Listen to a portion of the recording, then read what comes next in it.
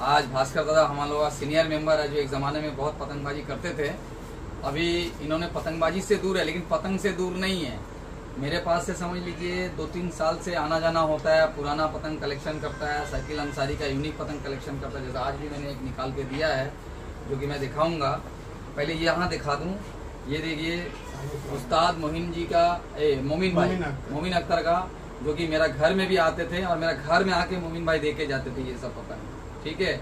आज भी मैंने प्यार मोहब्बत से संभाल के रखा है बिल्कुल ठीक है? और देखिए, मोमिन भाई कितना प्यारा प्यारा पतंग बना के देते थे। देखिए आप लोग। ये मोमिन भाई के हाथ की पतंग है, जो कि बीसियों साल पहले आके मेरे घर में दे के जाते थे। ठीक है? उस जमाने में एक पेपर मिलता था, जिसका वो डमरू पतंग बना के देते थे। हम लोग बहुत ज़ोर दूर में पतंगबाजी करते थे। इसका मोहर जो है ना देखिए धुंधली पड़ गई है कितना पुराना है। ठीक है? बीसों साल पुराना है इसका टाइम बताना भी मुश्किल है जो कि हमारा कोलकाता का आदमी लोगों को मालूम भी है मुरादाबाद वालों को भी मालूम है। जो एक ज़माना में कलकत्ता गमगम करता था पतंगबाजी में। और ब्रिगेड ब्रिगेड ग्राउंड विक्टोरिया। ठीक है?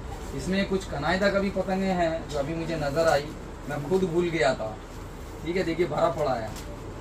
नफीस देखा ये देखिए। कनायदा की पतंगे?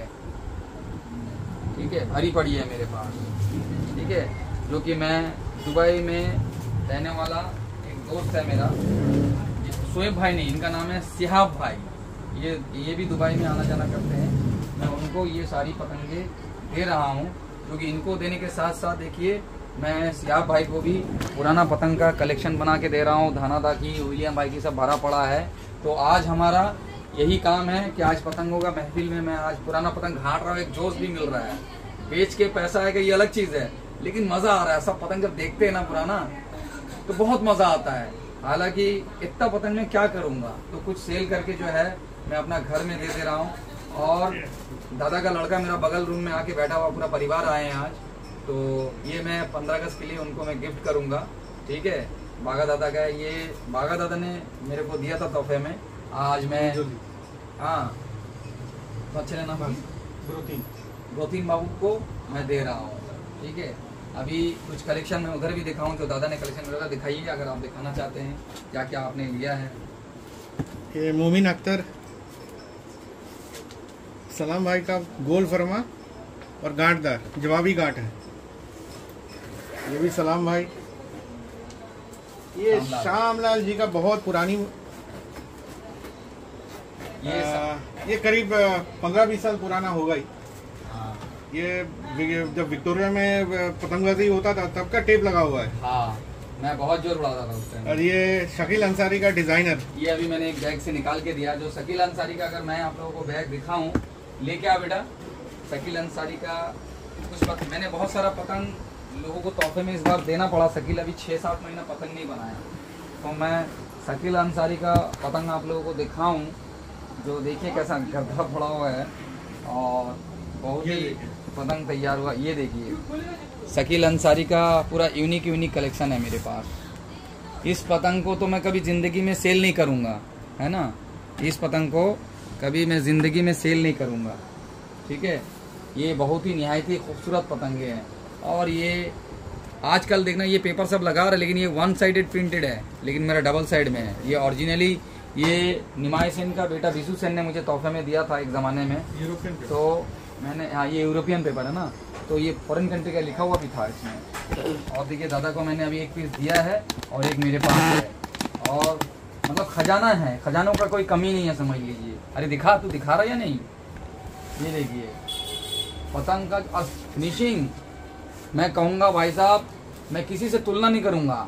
कि शकील शकील है। मैं ये नहीं कहूँगा कि भाई ये वो है ये भाई ख़त्म नहीं है पतंग पर। अरे इतना है ना कि मेरी ज़िंदगी कट जाएगी तो मतलब शौक पूरा नहीं कर सकता हूँ। ये एक पीस अकबर ने मुझे बना के दिया था जब उस, उसके साथ मेरा दिलों का रिश्ता था। ठीक है?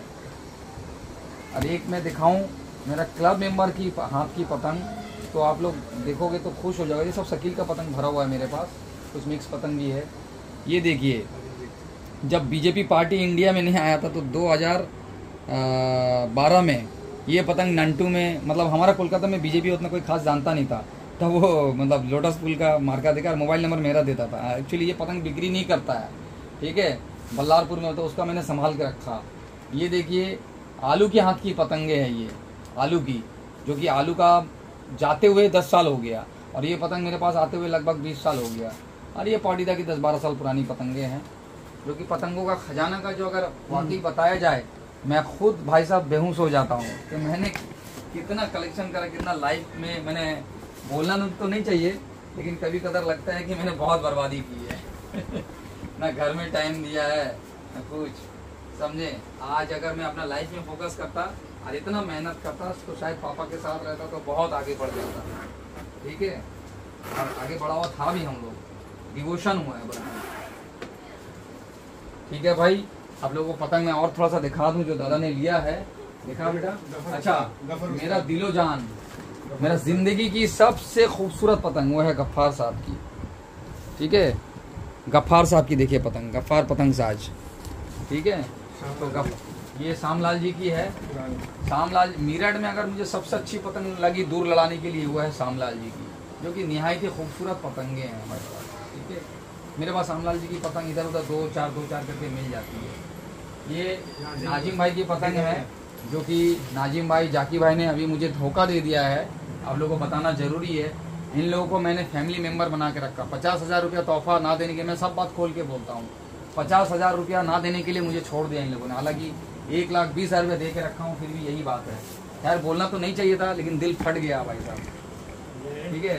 संतोष जी का पतंग अद्दी है जो आज दुनिया में इलाहाबाद का। ठीक है? सुमित भाई की पतंगे हैं।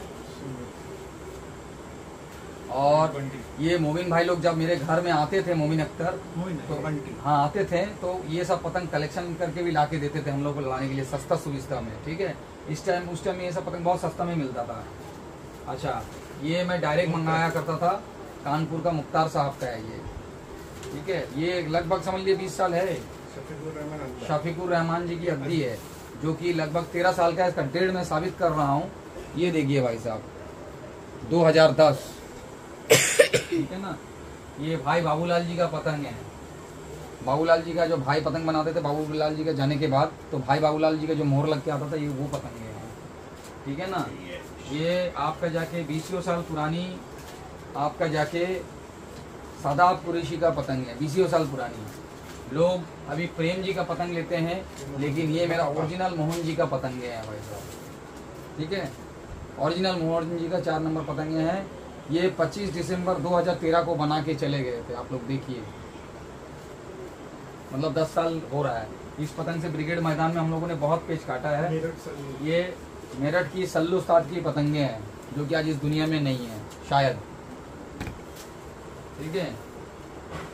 ये जौनपुर। जौनपुर की बली साहब। साहब की पतंगे हैं गांठदार कमांड अड्डा में। जौनपुर। की ठीक है ना? तो इस पतंगों से भी हम लोगों ने बहुत पेज लड़ाया। ये सफीकुर रहमान जी की दसियों साल से ज़्यादा पतंगे इसमें अपडेट पड़ा हुआ आप लोग देख सकते हैं 2010 ये 10 साल क्या तेरह साल हो गया मैं तो कम बोल रहा हूँ। ठीक है? तो इसी हिसाब से सब जर्मन पेपर से तैयार है बिल्कुल। ठीक है तो हम लोगों ने पतंग का बहुत इज़्ज़त दिया कदर किया और है तो बहुत खजाना इस इस पलंग के अंदर भी है लेकिन दादा को दूसरा दिन देंगे क्योंकि दादा फैमिली लेके जाएँगे थोड़ा सा अपने मम्मी के पास। तो टाइम बहुत हो रहता था तो यहाँ तक आज ख़त्म करते हैं मोटा मोटी है ना? फिर नेक्स्ट दिन हम लोग करेंगे और हो गई बात भाई साहब खुदा हाफिज़। ठीक है बेटा बंद कर दे